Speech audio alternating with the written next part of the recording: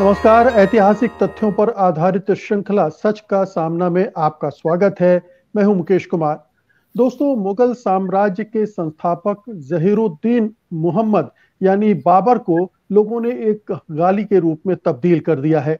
अक्सर कहा जाता है, बाबर की औलाद।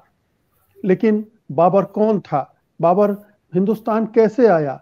उसने यहाँ पर किससे लड़ाइयाँ लड़ी? किसके कहने पर लड़ाइयाँ लड़ी? ये तमाम चीज़ें हैं जो छुपा ली जाती हैं। निश्चित रूप से बाबर एक हमलावर था। उसने हमला किया और अपना राज स्थापित किया। लेकिन बहुत सारी सच्चाइयाँ हैं जो राजनीति के झांसेबाज हमसे छिपा जाते हैं और उनको जानना हमारे लिए बहुत ज़रूरी है। तो आइए आज बाबर के बारे में थोड़ा अपनी जानकारी में इजाफा करते हैं और इसके लिए हमारे साथ जुड़ चुके हैं जाने माने सामाजिक कार्यकर्ता और इतिहास के जानकार प्रोफेसर राम पुनियानी। प्रोफेसर पुनियानी कार्यक्रम में आपका स्वागत है। बहुत धन्यवाद। पुनियानी साहब सबसे पहले तो ये कि बाबर को एक बड़े खलनायक के रूप में हमारे समाज में स्थापित कर दिया गया है। गाली के रूप में इस्तेमाल होता है। अक्सर अल्पसंख्यक समुदायों को जब टारगेट किया जाता है तो कहा जाता है बाबर की औलाद। और ये पिछले 30-40 सालों में बहुत ज़्यादा हो रहा है। लेकिन बाबर कौन था? क्यों था? क्यों? कैसे भारत आया? हमलावर तो था लेकिन बहुत सारे हमलावर थे। यहाँ हिंदुस्तान में भी एक राज से दूसरे राज पर हमला करने वाले लोग थे। कैसे आप बाबर को देखते हैं? कौन उनको आमंत्रित करने वाला था? भारत में वो खुद आया या बुलाया गया? जी ये पहले तो आपने बहुत महत्वपूर्ण बात कही कि सांप्रदायिक राजनीति के प्रचार में बाबर को एक बहुत नकारात्मक रूप में प्रस्तुत किया जाता है। और जब बाबरी मस्जिद को गिराना था तो उसके पहले से वो उस प्रकार के खतर गंदे नारे शुरू हो गए। अब ये दूसरी बात है कि हम इतिहास को केवल राजाओं के धर्म के चश्मे से देखते हैं। वैसे देखा जाए तो बाबर भी एक राजा था, जो उस समय काबुल और उस एरिया में राज करता था, सोलहवीं शताब्दी के शुरुआत में। तो 1519 1520 के आसपास वो सियालकोट और झेलम नदी के उस पार उसने अपने राज्य का विस्तार किया। अब उस समय इस तरफ़ क्या हो रहा था? इस तरफ़ यानी जो झेलम नदी के पूर्व में और पंजाब, उत्तर भारत में क्या हो रहा था? तो यहाँ तीन प्रमुख राजा थे। क्योंकि अब राजाशाही कोई धर्म के आधार पे तो होती नहीं है, लोग प्रस्तुत करते हैं, वो गलत है। तो एक तो दिल्ली में था इब्राहिम लोधी और ये मेवाड़ राजस्थान की तरफ़ था राणा सांगा। और पंजाब में था दौलत खान लोधी। तो ये तीन यहाँ के बड़े राजा हो गए और इनके आपस में संघर्ष थे। जैसे दौलत लोधी को लगता था कि वो इब्राहिम लोधी को हराए, राणा सांगा को लगता था कि वो इब्राहिम लोधी को हराए। तो क्योंकि इसके पास संपत्ति के खजाने वगैरह थे आगरा में और दिल्ली में तो इसके चलते एक तरफ़ से राणा सांगा ने एक दूत को भेजा बाबर के पास। कि आप आइए, आप इब्राहिम लोदी के खिलाफ लड़िए। क्योंकि इसको पता था कि इब्राहिम लोदी को अकेले हरा हरा नहीं सकता। तो उसने कहा, ठीक है, इब्राहिम लोदी का राज्य जो है, उसमें उसमें दिल्ली का प्रभुत्व है, आगरा पे प्रभुत्व है। तो आप दिल्ली की तरफ़ से आक्रमण कीजिए। मैं आगरा की तरफ़ से आक्रमण करूँगा तो उसमें हम पार्टनरशिप में उसको हरा देंगे। तो ऐसी दौलत खान लोदी का भी यही इरादा था कि भाई बाबर को बुलाया जाए और इब्राहिम लोदी के साम्राज्य को, इब्राहिम लोदी के राज्य को ये किया जाए। तो खैर, वैसे मुख्य बात तो कहूँ, राजाओं को आक्रमण करने के लिए कोई निमंत्रण की ज़रूरत नहीं रहती। कोई निमंत्रण, वो वैसे भी देखते रहते हैं कि मैं राज्य का विस्तार कैसे करूँ। तो एक तरफ़ राणा सांगा का दूत आया, दूसरी तरफ़ दौलत खान की तरफ़ से आया तो बाबर इस तरफ़ आया और वो एक चालाक जनरल था। वो युद्ध की कला में बहुत माहिर था। उसकी सेना की जो भी साइज़ हो उसने अपनी बड़ी सेना की साइज़ को आ, हराया पहले दौलत खान को हराया और फिर इब्राहिम लोदी की फौज आई और इनकी लड़ाई हुई पानीपत में। और ये पानीपत की लड़ाई लड़ाई ने यहाँ के इतिहास को एक नई दिशा दे दी क्योंकि भले ही इब्राहिम लोदी की फौज बड़ी थी पर बाबर का जो युद्ध नीति थी उसके चलते उसने इब्राहिम लोदी को हरा दिया आके दिल्ली पे राज किया अब इधर से क्या होता है? राणा सांगा, ये आगरा पर जाके आक्रमण नहीं करता। उनकी समझ क्या थी कि आप दिल्ली से आइए, मैं आगरा में ये करूँगा तो इसको हम सफाया कर देंगे। और राणा सांगा ऐसा इतिहासकार कहते हैं बाद में कि राणा सांगा को शायद लगा कि बाबर भी वैसे ही एक लुटेरा होगा, जैसे पहले कई मुस्लिम लुटेरे आए, लूट के चले गए। ये भी आएगा, खजाना लेकर चला जाएगा और मेरा राज्य का विस्तार हो जाएगा। ये राणा सांगा की नीति थी। इसलिए राणा सांगा ने आगरा पे आक्रमण नहीं किया। राणा सांगा ने आक्रमण नहीं किया तो बाबर ने दिल्ली पे भी कब्जा जमाया, आगरा पे भी कब्जा जमाया, आगरा पे उसने अपने बेटे हुमायूं को भेजा। हुमायूं ने वहाँ किया, इसने यहाँ राज किया तो इसका राज्य स्थापित हो गया। और उसने अब फैसला कर लिया, जिसको वापस जाना है, क्योंकि फौज में सब लोग हैं, जिसको वापस जाना है, जाए, मैं तो यहाँ टिक गया हूँ। ऐसा है ने वो यहाँ उसने शासन करने की शुरुआत की। तो फिर राणा सांगा अब देखते हैं कि भाई उसका तो रास्ता बंद हो गया। तो फिर राणा सांगा और बाबर में खानुआ में लड़ाई होती है।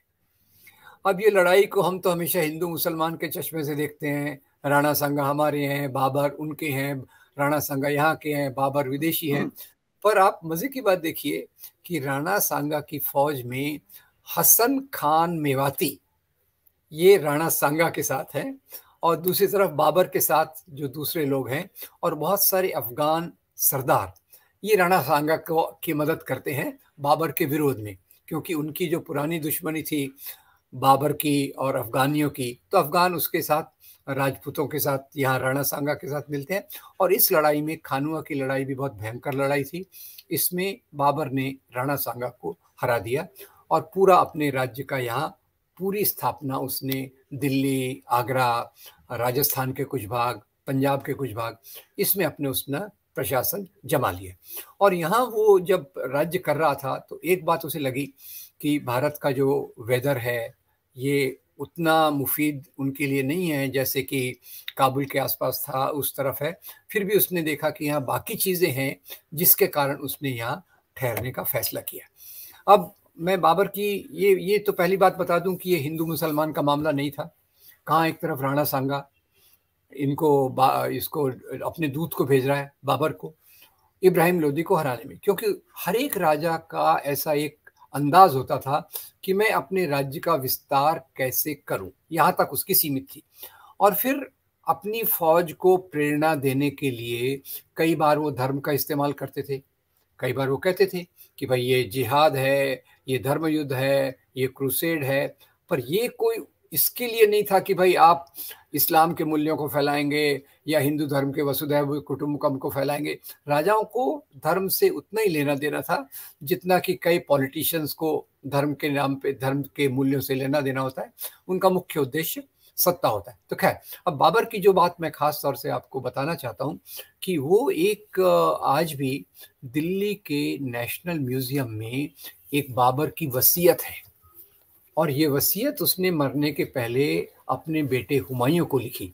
थोड़ा मैं इसका अनुवाद करना चाहूँगा आपके लिए। वो लिखता है बेटा बेटा हुमायूं ये जो हिंदुस्तान है इसमें बहुत सारे धर्म के लोग रहते हैं। अल्लाह का शुक्र करो कि इस धरती पर राज्य करने का मौका हमको मिला है। पर याद रखो बेटा कि यहाँ जो अलग अलग कम्युनिटी है, हमको सब कम्युनिटीज़ के प्रति न्याय देना चाहिए। तभी हम अपने राज्य को एक सफल राज्य बना सकेंगे। और दूसरा, आगे वो जाके जो लिखता है, उसका भावानुवाद कर रहा हूँ कि उस समय तक ये जो गाय का मामला था, हिंदुओं में गाय माता माने लग गई। तो उसने कहा कि गाय का जो वध है वो तुम मत होने देना। गाय का वध मत होने देना ये बाबर कह रहा है। और दूसरा ये कह रहा है कि ये यहाँ हिंदू लोग बहुत हैं हिंदू लोगों की आस्थाएँ मंदिर में है इसलिए तुम अपने राज्य में मंदिरों को मत टूटने देना। अब ये बाबर की वसीयत मैंने इसलिए बताई क्योंकि अभी अभी जो मस्जिद बनी जिसको बाबरी मस्जिद कहते थे वहाँ अभी प्रधानमंत्री जी ने उद्घाटन किया और कितने आकर्षक रूप से आपके मीडिया ने उनको डिज़ाइनर डिज़ाइनर रिलीजियस ड्रेसेस में हमको देखने को मिला। वो भी एक अजूबा था हमारे लिए। खैर तो उनके एजेंडे में मथुरा भी है काशी भी है वहाँ भी उनको जो धर्म स्थल हमें दूसरे धर्मों के बर्दाश्त नहीं हो रहे हैं। लेकिन एक जो मूल बात आपने कही कि जो। राणा सांगा कर रहे थे वही बाबर भी कर रहा था। राणा सांगा भी अपने राज्य का विस्तार करने की कोशिश कर रहा था। उसका हिंदू धर्म से कोई लेना देना नहीं था हिंदू धर्म के विस्तार से लेना देना नहीं था। और। बाबर भी यहाँ कोई इस्लाम के विस्तार के लिए नहीं आया था वो अपना राज का विस्तार करना चाहता था और इसलिए वो यहाँ आकर उसने मुगल राज्य की स्थापना की और जैसा आपने वसीयत में बताया कि वो इस ज़मीन में रहने वाले लोगों की मिजाज को समझते हुए उनको राज करने की नसीहत भी अपने बेटे को। है। तो एक तो ये हिस्सा हो गया। लेकिन आपने जैसा कहा कि इब्राहिम लोधी को हराने के बाद फिर राणा सांगा से लड़ाई हुई, उनको भी उसने पराजित किया। उसके बाद क्या जो युद्ध हुए हैं, वो केवल हिंदू राजाओं से युद्ध हुए या दूसरे, जो दूसरे इलाकों में मुस्लिम राजा थे, उनसे भी उनकी लड़ाइयाँ होती रही? देखिए, सबसे शुरुआती लड़ाई तो मुस्लिम राजा से हुई, इब्राहिम लोधी। उसके पहले पंजाब में दौलत खान लोधी। और यहाँ जिन जिन राजाओं का राज्य था एक्चुअली वास्तव में देखा जाए तो बाबर ने केवल साम्राज्य की स्थापना की। बाद में चलकर हुमायूं ने कुछ उसका विस्तार किया अकबर ने विस्तार किया और सबसे ज़्यादा विस्तार तो औरंगज़ेब ने किया। तो उसकी यहाँ हमें एक बात का ख्याल रखना चाहिए कि लड़ाई में हिंदू मुसलमान का आधार नहीं होता। राजा से अगर आपकी संधि हो जाए समझौता हो जाए तो आपके साथ एक आ, स्टेटस में काम करता है। जैसे आप औरंगज़ेब के साथ देखिए। तो राजा जय सिंह भी हैं राजा जसवंत सिंह भी हैं औरंगज़ेब के 33 परसेंट अधिकारी वो हिंदू राजा हैं। और ये अगर आप अकबर को देखें अकबर के बारे में तो ज़्यादा लोकप्रिय है। तो अकबर के बारे में आप देखें तो वहाँ राजा टोडरमल भी हैं राजा बीरबल भी हैं। तो ये आ, उसने जो राज्य का विस्तार किया यहाँ उस समय छोटे छोटे राजा थे। और जो राणा सांगा भी चाहते थे कि इन राजाओं को हरा के अपने राज्य का विस्तार किया जाए। और उसमें इब्राहिम लोदी उनके रास्ते में एक बड़ी रुकावट आ रही थी। इसको उसके लिए हराने के लिए उसने ये बाबर के आने की योजना बनाई। पर यहाँ के जो भी छोटे आ, क्योंकि राजाशाही में भी आप देखिए राजाशाही में भी बड़े जमींदार के बाद जो राजा होता है छोटे क्षेत्र में होता है फिर बड़े क्षेत्र में होता है तो इस प्रकार से कई प्रकार के राजा थे जिनमें मुसलमान भी थे हिंदू भी थे। कईयों से उन्होंने समझौता किया और बाद में तो देखिए, राणा सांगा से तो इनका युद्ध हुआ। पर आप बाद में देखिए तो ज़्यादातर कई इतिहासकार तो इसको मुगल पीरियड, मुगल राज्य नहीं कहते हैं। वो मुगल राजपूत राज कहते हैं, क्योंकि बाद में चलकर ज़्यादातर मुगल राजाओं की राजपूतों से बहुत गहरे संबंध हो गए और उनके प्रशासन में, उनके राज्य में उनका एक बहुत महत्वपूर्ण स्थान था। तो बाबर ने वास्तव में बाद में जो लड़ाइयाँ लड़ी वो बहुत ज़्यादा नहीं थी। बाबर ने मुगल राज्य का जो अगर बाबर का आप नक्शा देखें राज्य का तो इतना बड़ा नहीं है। ये धीरे धीरे करके बढ़ता जाता वो केवल चार साल ही जीवित रहा। कुल मिलाकर चार साल ही उसके बाद उसकी मृत्यु हो गई और हुमायूं राजा बन गए। लेकिन एक बात बताएँ कि सांगा को आमंत्रित किया उसके पहले भी बाबर ने कई हमले किए इस तरफ़ चार या पाँच बार अटैक किए और उसमें उनको कामयाबी नहीं मिली। लेकिन जब सांगा का साथ मिला और उससे वो आए और फिर उन्होंने अटैक किया और उसमें कामयाबी मिली क्या ये सही है?